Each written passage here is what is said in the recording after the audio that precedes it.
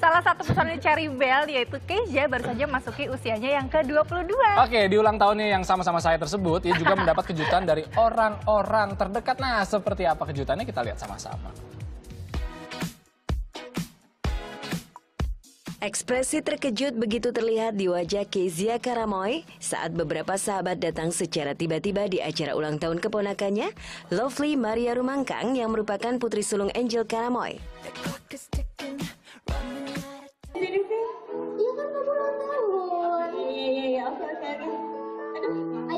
Tantenya Frozen. Iya iya, nangis aja nggak apa-apa kok. Aku nyanyi ya. Iya. Oh, pejamkan matamu, ucapkan dalam hatimu apa yang kau mau. Ada deh. Apa yang kau mau? Juga pacar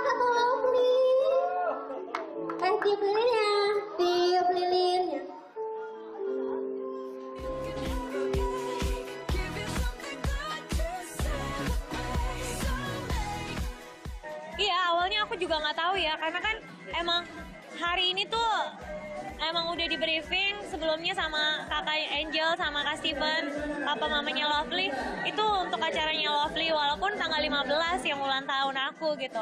Aku ngalah, Lovely dulu deh ngerayain ulang tahun, namanya juga anak kecil kan pengen banget dirayain. Karena tanggal-tanggal sebelumnya itu emang nggak belum belum bisa gitu, dan bisanya tanggal 15 aku ngalah. Eh tiba-tiba di pertengahan aku disuruh maju ke depan, alasan kakak aku Dani itu suruh nyanyi buat Lovely. Aku aku bingung dong. Oke, karena dia ulang tahun aku nyanyi birthday kiss-nya Cherry Bell. Pas aku nyanyi tiba-tiba ada suara ganggunya Love uh, Feli, sahabat aku, dia muncul sama Mario sama sahabat-sahabat SMA aku. Senang sih, senang banget dan kaget banget gitu. Sampai aku mau nangis, cuman malu. Jadi aduh, nggak bisa teriak kan? Maksudnya yang kayak nggak bisa terlalu excitednya harus ditahan dulu soalnya pipinya masih sakit nggak bisa terlalu banyak ngomong jadi aku cuma bisa diem. Oke makasih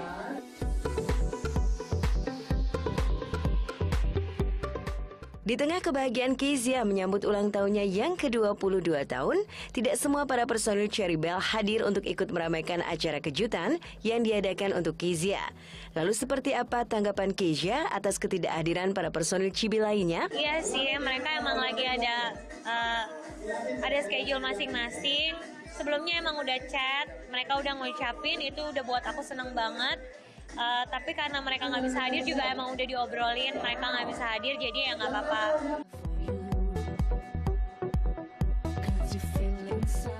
Memasuki usia ke-22, seperti apa Kezia memaknai usianya yang semakin bertambah?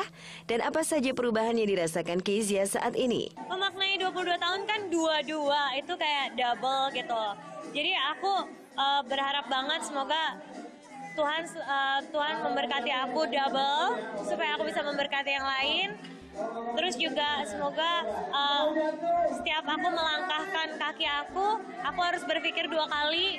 Jadi ya, lebih teliti, lebih disiplin. Ya aku lebih dewasa sekarang. Terus juga lebih eh, lebih behave, behave ya dalam berper- dalam berperilaku, dalam berbicara, terus dalam berpikir gitu. Jadi aku nggak dulu kan aku benar-benar nggak bisa diem, wah wah, wah gitu. Sekarang aku lebih eh, bisa apa ya dewasa lah ya gitu.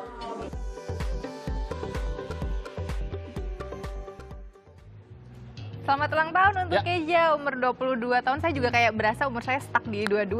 Muda terus gitu. Hmm, Mudah-mudahan dia juga semangatnya muda ya, terus. Kenapa Cherry Bell? itu saya seneng banget waktu film dia sama Deva. Atau Kenapa? enak aja gitu saya nonton. Karena waktu itu saya pertama kali nonton gitu kan dan ditunggulah karya-karya berikutnya pasti ya. Iya, sama Cherry Bell juga ya. Ih, pasti dong. Alright.